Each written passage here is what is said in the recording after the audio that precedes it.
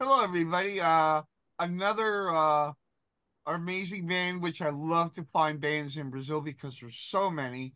Uh, this is Anselmo, and Anselmo, tell me what the name of your band is and where you're located in Brazil.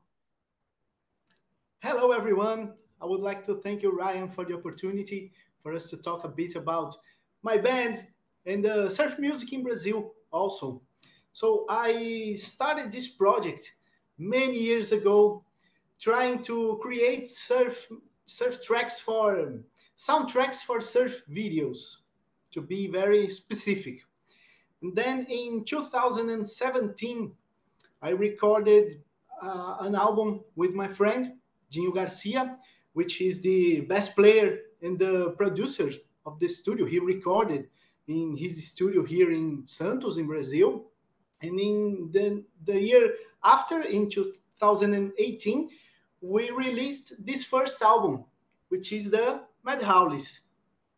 We have 10 songs, all, all, only instrumental songs, mm-hmm. and all of these songs were figured out in surf movies, TV programs, and also tournaments. There's a tournament in California called the Surf Relic. Oh. They they compete the progressive and the classic longboard in, in one tournament. And it happens in Malibu and in Trestles. So between 2018 and 19, our songs figured it out on the official videos of the tournament. So it really? was very satisfying. It was something amazing. And nine of these songs also are um, are, pres- are they, they make part of the soundtrack of a surf movie from a surfer here from Brazil, which is Picuruta Salazar, a longboarder known worldwide. And this film, this movie, uh, he he was here in Brazil, also in Portugal, in festivals, surf movie festivals, and it's very satisfying to be our songs, you know, being heard worldwide. Yeah. And tomorrow we'll be completing the first month of the release of the second album, which is called Surfer's Paradise. And we reco- recorded 13 new songs. We have instrumental songs, we have songs with vocals. We are trying to reach new horizons. Yeah, you have surf and punk on the new stuff, right? Yes. And we try to, to get this idea of the surf rock that Dick Dale created, and we try to to to see as a modern way. We try to make a modern sound of the the surf music, what it could sound Dick Dale nowadays, the Surfaris yeah. and these bands. So we try also to to mix with other influences. So the bass player he likes reggae a lot, so he brings to our band some of this influence. I also like uh, rock band, rock bands, and in other styles. I, I like a lot the, the folk and acoustic Hawaiian songs. So I bring to the project some of you know the, the acoustic lap steel, the solid lap steel. We try to to experiment sounds of of different amps, different guitars that are not so common on surf music, yeah. but uh, always with the tremolo bridge, which yeah, is yeah. we don't negotiate it. so show us, show us the both of the live steels that you have there, and and Here how in my hands in the song. Here in my hands, I have this Gibson from the fifties, and he looks like he came from a time machine because he's so so well preserved i guess that's the right word to say. Uh, and it sounds amazing. It, it, it feels like that we are hearing from the instrument the same sound from the recordings from the vinyls from the long decades ago and i really appreciate this instrument i use a lot most for recording, but it sounds simply amazing. And I have also this one. I have two acoustic lap steels, which is called the Weissenborn because it has a square neck, so it's hollow until here. Wow. And it sounds like the acoustic guitar, but with the difference of the that we play with the slide bar in our left hand, in my case, left hand. So we slide through the strings and it sounds amazing also.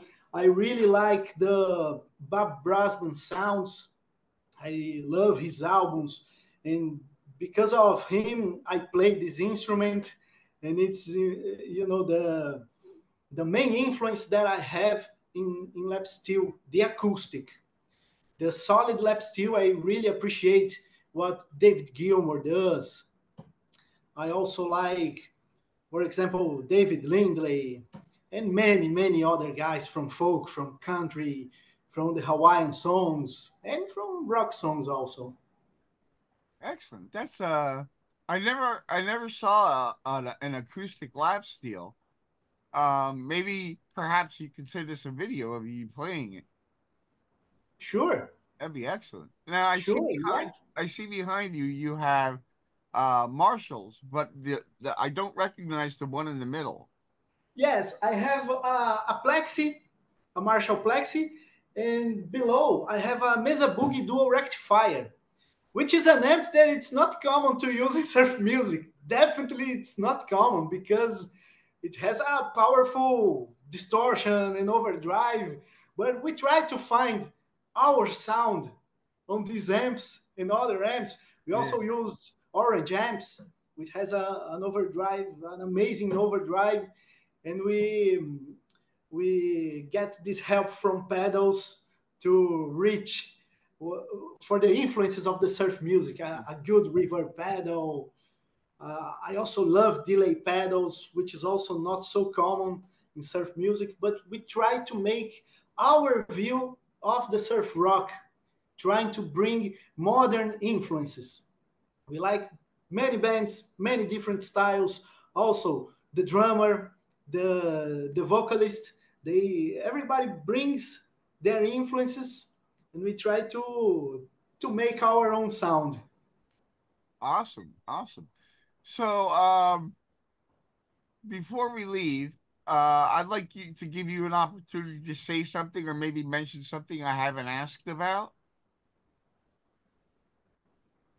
Well, I like to, to thank you a lot for the opportunity, uh, for the space for us to talk a bit of me, of my friends from the band, from the instruments also.